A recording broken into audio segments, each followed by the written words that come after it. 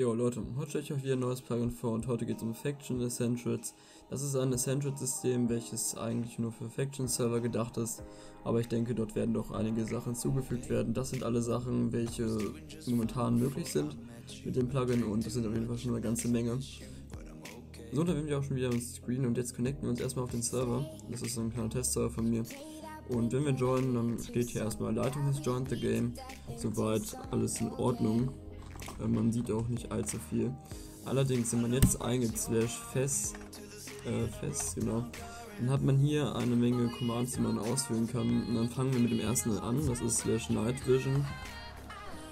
Ähm, Night Vision, genau. Und dann hat man den Night Vision Mode. Das ist auch mit dem Effekt anders gemacht. Wenn man den wieder weg haben möchte, dann macht man das mit dem, äh, mit demselben Command halt nochmal. Gut, dann kann man hier nochmal die Colors sehen. Wenn man die halt vergessen hat, hat man hier nochmal alle, also als Auflistung. Slash Formats hat man ebenfalls. Hm, ist halt einfach nur, nimmt aber nur die Formate. Genau. Äh, ansonsten hätten wir jetzt hier noch Slash Chat. Also man kann hier noch eine Menge einstellen und zwar Chat Toggle, Chat Clear und einmal den eigenen Chat kreieren. Damit toggeln wir erstmal den gesamten. Das Leitungslockte Chat kann man natürlich alles ähm, anstellen und die Admins können natürlich weiterschreiben, die normalen Spieler hingegen nicht. Somit passt es. Und jetzt wieder Unlock, genau. Und dann schauen wir uns nochmal den nächsten Command an. Ähm, welchen hätten wir noch? Genau, wir hätten jetzt noch slash ping zum Beispiel. Kann man sein Ping sehen, 29er Ping. Ähm, genau, und slash root zum Beispiel ebenfalls. Dann kann man sehen, wer vom Staff alles online ist und wie viele Spieler gerade insgesamt online ist. Äh, sind man nicht, genau. Und wenn man jetzt zum Beispiel, ist halt vielleicht auch ein gutes Feature für Premiums. Zwar wenn man jetzt hier zum Beispiel ein rohes Schweinefleisch hat und dann eingibt slash smelt, dann wird das automatisch gebraten und ja, hier steht auch äh, Item smelted, somit ist es ebenfalls eine coole Sache. So, wenn wir slash creeper eingeben, dann haben wir unseren privaten Creeper, sag ich auch mal, da steht auch Leitungscreeper, das ist eine coole Sache. Ist mir auch nicht eingefallen, dass man vielleicht sowas machen könnte, das ist halt eine coole Idee. Aber, mh, gut, dann hätten wir jetzt hier noch Autocraft TNT using the materials in your inventory, genau. Das heißt, man kann ja auch selbst ähm, TNT zusammencraften mit zum Beispiel äh, Sand und Gunpowder in seinem Inventar tut und dann in den mit 0 wahrscheinlich gehend und dann slash TNT eingibt, dann wird es gecraftet richtig und dann erhält man hier das TNT und der ähm, Rest, der bleibt da. Ups, der Typ explodiert. Sehr schön. Gut, slash fest. Ähm, wir hätten dann jetzt noch slash fill TNT, das ähm, dient dazu, um zum Beispiel Dispenser aufzuladen, wenn man hier welche stehen hat.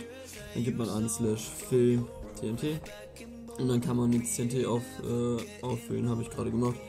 Hier you filled two dispense, uh, dispensers with 12 TNT, somit habe ich das hier wirklich gefüllt und ist halt ebenfalls eine coole Sache. Gut, dann hätten wir jetzt noch slash trash.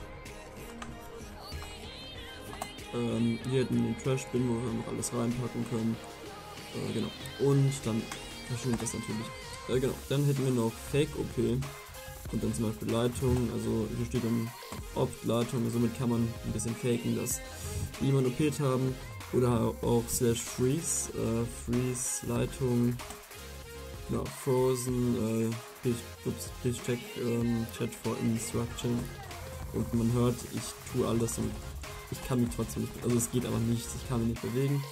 Und wenn man, genau, wenn man disconnected oder innerhalb von 5 Minuten nichts macht, dann wird man automatisch gebannt, beziehungsweise wird man die Konsequenzen zu rechnen haben. Und wenn das soweit was geklappt hat, dann kann man nicht wieder WM freezen und dann steht der Unfrozen, thank you for cooperating.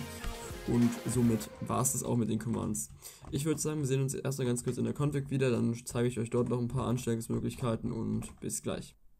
In der Config sieht man natürlich wieder relativ viel Text, das ist diesmal wirklich extrem viel. Ähm, ja, wie soll, was soll ich jetzt dazu sagen? Ähm, fangen wir mal ganz von oben an. Hier gibt es ein paar Informationen über das Plugin, wie auch immer. Äh, und hier kann man jede einzelne Message im Plugin übersetzen. Und ja, das ist auf jeden Fall eine coole Sache. Werde ich jetzt garantiert erstmal nicht machen. Äh, sondern ihr könnt es dann selbst ausprobieren, wenn ihr das Plugin nutzt. Genau, dann hätten wir jetzt hier noch so ein paar Einstellmöglichkeiten, wo man zum Beispiel diese, äh, diesen Fill TNT Command äh, machen kann.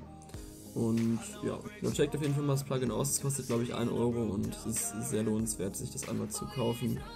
wie gesagt, man hat hier ein paar nette Sachen und ja, ich würde es äh, auf jeden Fall relativ cool finden, wenn ihr mal vorbeischaut. Den Link zum Download habt ihr natürlich bei mir unten in der Beschreibung und dann wünsche ich euch bis dahin einen schönen Tag.